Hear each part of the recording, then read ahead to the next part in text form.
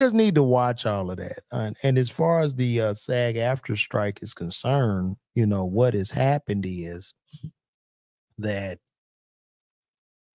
actors and writers uh feel like you know they're not being paid enough. Now, the thing is, when you're dealing in the entertainment business, only a few eat at a time. That's the whole allure of entertainment. You have those that are up, and then it's just everybody else floating by, like myself. You know what I'm saying? So I don't get a big chunk of my income from SAG AFTRA nor uh, the WGA. But I was talking to my brother today uh, just about how, you know, this big change. So when you think about Netflix, right?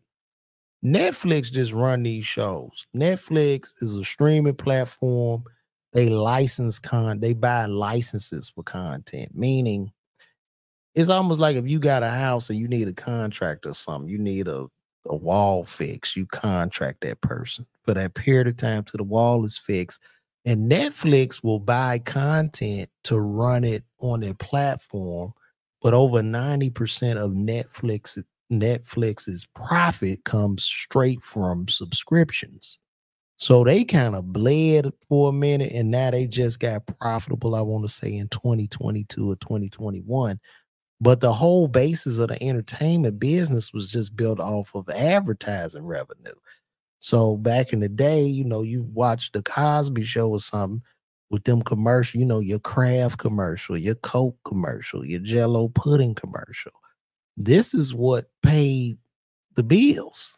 You know what I mean? Like we thought TV was free. It wasn't necessarily really free. It was just that our attention and our eyeballs was worth the money. They needed somebody to watch the commercial so you can go out and buy the jello pudding pops and the Coca-Cola and shit like that. Whereas now with streaming, I first of all, I don't think a lot of streamers are even profitable outside of maybe Hulu and Netflix. And then I just don't think a lot of us are watching most of this shit. Like, who is really why? I talk to people all the time. I'm like, did you see the show? who is watching all this shit? Hey, uh, like for real, let's just be real. Who is watching it? Who watching it? Y'all not watching this shit now. Y'all watching me, and I don't have a subscription service. You know what I'm saying? So I I don't know. It seems like the whole entertainment industry is is some it, I'm it's imploding in the sense with that old business model. So I don't know where we go from here. I don't know. I'm just hoping I don't have to put my white coat back on and get back in that pharmacy. I'm gonna have to shit open my own store. So I don't know. It's just we in some very strange times, and then it's hot, global warming. It's crazy, and I hate to be a Debbie Downer right now.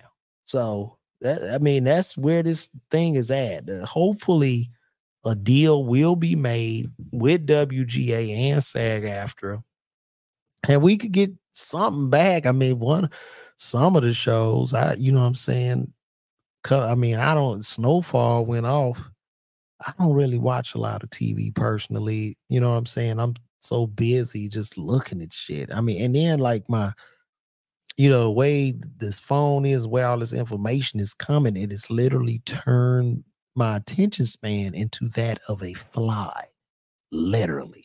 Like the best way to watch a movie is you need to just really turn your phone off and watch it. I never would have thought that I would get to a point where I'm looking at a movie and it feels like I'm reading a book. And the worst moves when the motherfuckers talking low. Yeah, and then we went down to the store. Are you gonna get the stuff from the store? They they talking low and it's dimly lit in the background. I'm like, dude, I'm I'm out. Like, you know what I'm saying? After 20 minutes, how many people like falling asleep on Netflix? We ain't doing nothing but fucking and sleeping to Netflix. That's that's literally what we're doing right now. And nobody's saying anything. So I don't know. Hopefully uh the industry will come back with prayers. I'm going to stand on the side of all actors and writers and continue to uh continue to protest and strike And we can't even talk about no shows we got coming out. Can't even talk about that. Because they don't want no, they don't want them making money while we not making money. So that's the thing, man. Right now, UPS drive